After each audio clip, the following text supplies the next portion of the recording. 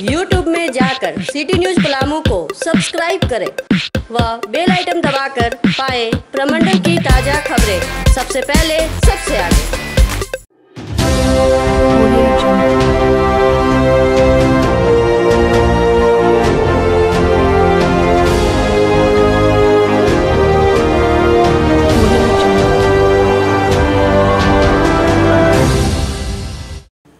प्रखंड क्षेत्र के पश्चिमी सुदूरवर्ती गाँव सलगी स्कूल के मैदान में आयोजित चार दिवसीय खस्सी फुटबॉल टूर्नामेंट का आज धूमधाम के साथ संपन्न हो गया।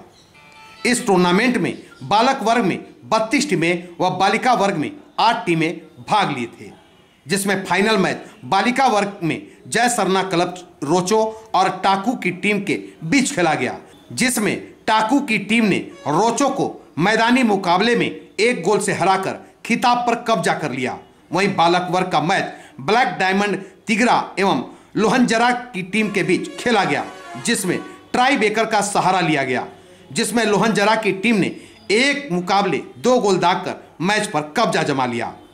शानदार खेल की रोचकता ने दर्शकों को अंत तक जमाए रखा।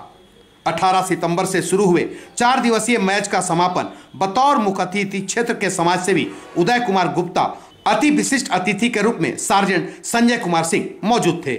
अतिथियों ने विजेता व उप विजेता सात, तीसरे व चौथे स्थान पर रही टीमों को ट्रॉफी व खसी देकर पुरस्कृत किया। इसके अलावा कई टीमों के खिलाड़ियों के बेहतर प्रदर्शन को देखकर उन्हें नगद भी दिया गया। साथ ही मैन ऑफ़ द मैच और मैन ऑफ़ द सीरीज़ के खिलाड़ियों को भी पुरस्कृत किया गया। कार्यक्रम के अंत में रंगारंग सांस्कृतिक कार्यक्रम का भी आयोजन किया गया।